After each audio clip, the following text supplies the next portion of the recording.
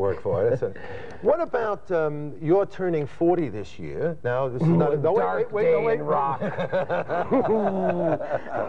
it's not, a- but it seems to me that it's the the ones in that bracket and a little bit older that are taking over the music business. There's George Harrison, Tina Turner is still going. She's going to go. Bryan Ferry, all these people.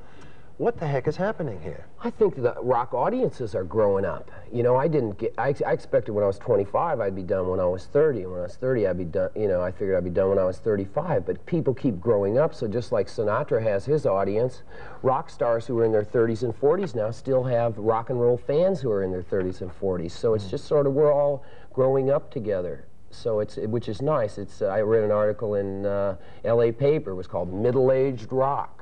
Yeah. You know, here it comes. And sure enough, there's a lot of us who are over 35. Is that, is that middle 30. age? They always tell me middle age is usually five years older than what you are. I thought say. middle age was like, wasn't that like 1000 AD? Yeah, something.